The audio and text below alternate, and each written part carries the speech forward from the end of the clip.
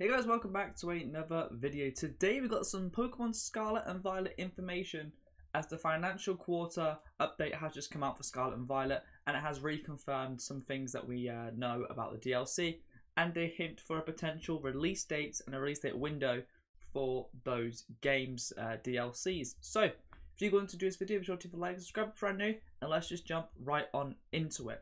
So, I've only got a couple of things to go over, which is what I mentioned. Uh, the first thing is from Serebii, who has gone and said, uh, as of March 31st, 2023, so that was like the first quarter of the year, Pokemon Scarlet and Violet has sold 22.1 million units. Now, obviously, the game is broken, very broken, but it clearly didn't affect sales too much because I think it was like 15 million um, at the end of uh, December because obviously it was going to go really high up for Christmas and it slowly dies down with the announcement of DLC until DLC comes out. So they still sold about 7 million units whilst people knowing the game was broken. So it clearly must be some sort of a good game uh, for people to still pick it up after knowing that it is broken.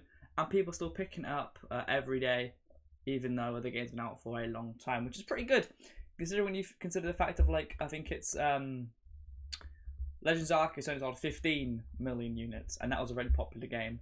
Um, and then after Joe Merrick, the owner of Serebii, says only four and a half months. It's only one and a half million um, away from beating gold and silver.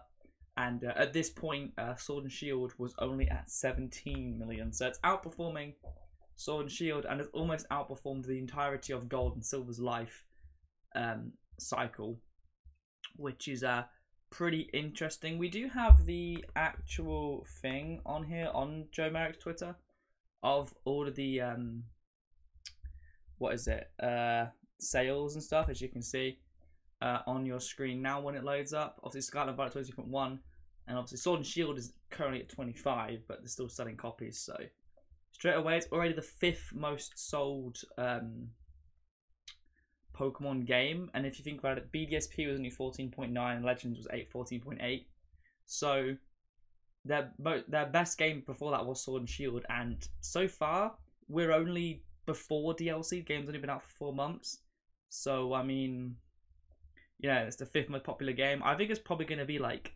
second popular. I think it will overtake Sword. I don't think it'll be Red, Green, Blue, but um, it is uh, pretty interesting that uh, it's performed very, very well considering all of the broken stuff, and uh, maybe this is a good sign for the Pokemon Company to uh, know what they're doing and keep making games like that. Um, but the reason why we talked about that is because of this tweet here from Joe Merrick, which says, uh, also in case people wondering, Nintendo's financials, which is like so this stuff where they go for all the units and stuff, um, has reconfirmed the DLC dates for autumn and winter uh, this year. So if I just Google uh, Scarlet and Violet, look at the PKHeX stuff for my uh, save file because I want to finish off my uh, decks. Um, Scarlet Violet uh, DLC release date. Obviously, this says uh, Winter 2023 Indigo Disk, which is um, what they say on here. But I think they didn't go into that much detail. Um, have a quick look, quick look. Oh, here we go. It says that Teal Mask is slated for fall 2023. Obviously, Joe Merrick goes on and says uh, for autumn and winter. Um, so for 2023, releases have change, and this is for winter 2023. A lot of people are speculating winter 2023 is technically the start of January 24 as well, because it's uh, technically 23's winter.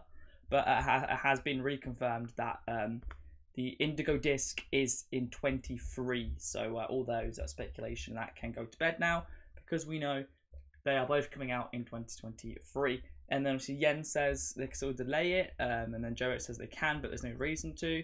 And then Sword and Shield was revealed January 8th, released June 17th.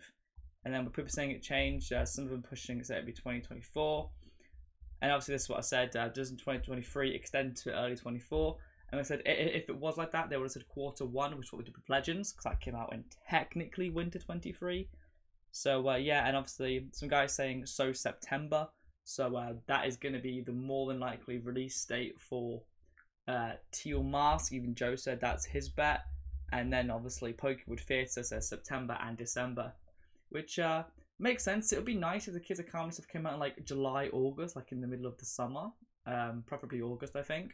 But uh, you know, it, it, is what it is because like summer festivals in like Japan and Kitakami, you know, you wear the yukatas and stuff. If you watch anime, you will know they happen in the summer. So uh, yeah, we will have to see. It could be like September because I guess September is still technically summer. Um, in December for Indigo Disk is also a pretty good shout because obviously it's Christmas and people are going to be buying the games like a complete edition or something when all the DLCs are out for Christmas to boost sales. So it makes a lot of sense. September and December. Um, and obviously it will then give them obviously no new game this year. Um, so they've got a whole two years to work on something else, which is basically what they did with uh, Sword and Shield when um, Crown Tundra come out. We had to wait a whole year for the uh, next game. So uh, yeah, it's not too bad. September, that's only about four months away, and we obviously don't know much, so we can get some DLC hype from that and uh, learn some more stuff. And then uh, December as well. So not my ideal release date. I'd like a August for the first one, and then November, December works fine for me for the second one. But uh, yeah, September and December it'll have to do. Not like I can do much about it, but uh, yeah, that's it for me and this video. Let me know your thoughts and feelings on this in the comment section down below.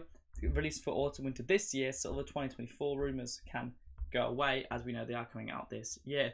But uh, yeah, that's it for me there. Thank you for watching. All your thoughts on this release date? Uh, potentially, obviously, we haven't got an official date, but uh, most likely September and uh, December. But uh, yeah, that's it for me. Thanks so much for watching, and I shall see you all in a little bit.